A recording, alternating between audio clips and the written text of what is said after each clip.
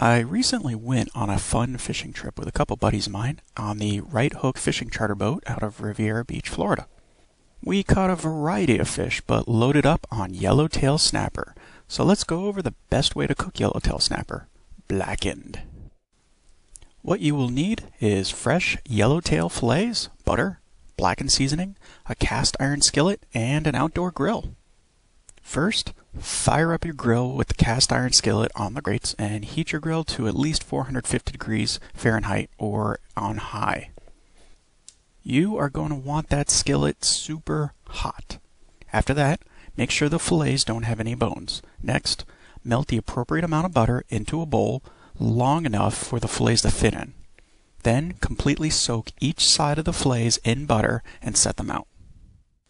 Now the most important part here is to completely coat both sides of every fillet with your blackened seasoning.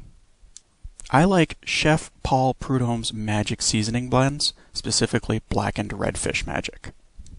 Once your skillet is between 400 and 450 degrees Fahrenheit, place each fillet on the skillet.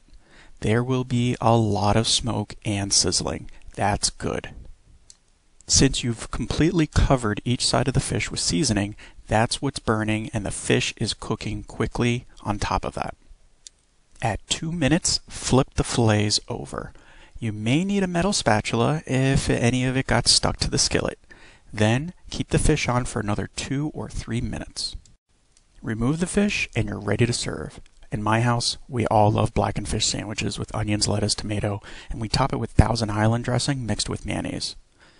Please don't forget to rate and subscribe if you like this video. If you have any suggestions or questions, please do so in the comment section. Thanks and have fun.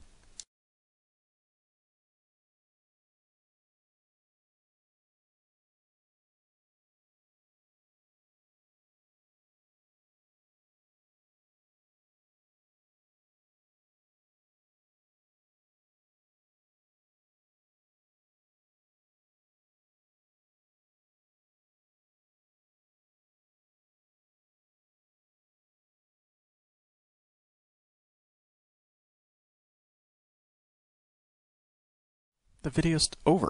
Why are you still watching?